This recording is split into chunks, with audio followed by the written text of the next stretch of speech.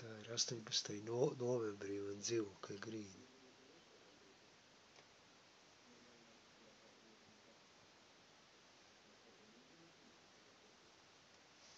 Sievas istaba.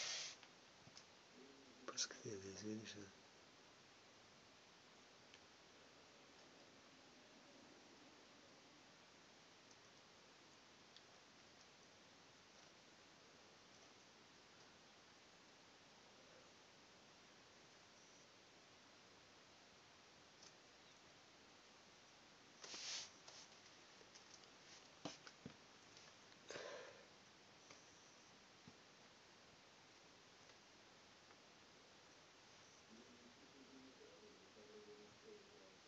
Kāds krāsains.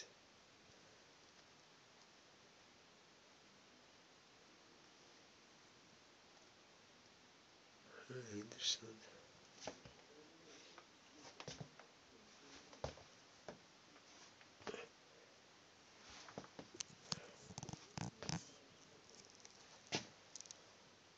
Paldies, paldies par uzmanību.